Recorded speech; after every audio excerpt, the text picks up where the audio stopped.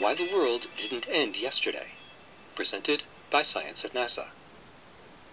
December 22nd, 2012. If you're watching this video, it means one thing. The world didn't end yesterday. According to media reports of an ancient Maya prophecy, the world was supposed to be destroyed on December 21st, 2012. But look around you. The whole thing was a misconception from the very beginning, says Dr. John Carlson, director of the Center for Archaeoastronomy. The Maya calendar did not end on December 21st, 2012, and there were no Maya prophecies foretelling the end of the world on that date. The truth, he says, is more interesting than fiction.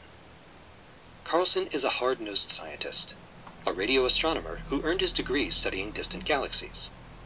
He became interested in the 2012 phenomenon 35 years ago when he attended a meeting of the American Association for the Advancement of Science and learned about the Maya. Where the rainforests of Mesoamerica now stand, a great civilization once flourished. The people of Maya society built vast cities with a population density comparable to modern Los Angeles County. They mastered astronomy and developed an elaborate written language. Most impressive to Carlson was their expansive sense of time. The times Mayas used dwarfed those currently used by modern astronomers, he explains. According to our science, the Big Bang occurred 13.7 billion years ago. There are dates in Mayan ruins that stretch back a billion billion times farther than that.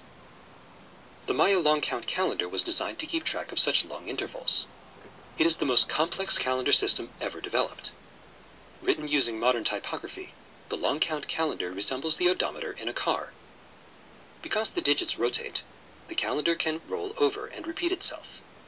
This repetition is key to the 2012 phenomenon.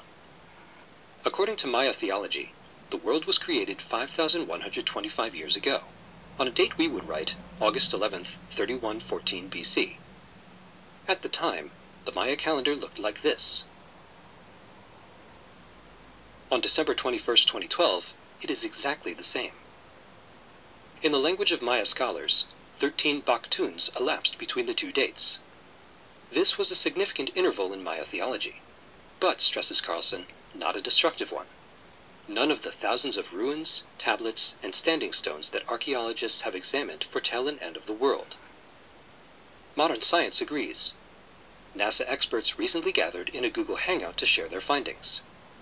Don Yeomans, head of NASA's Near Earth Object Program, stated that no known asteroids or comets were on a collision course with Earth. Neither is a rogue planet coming to destroy us.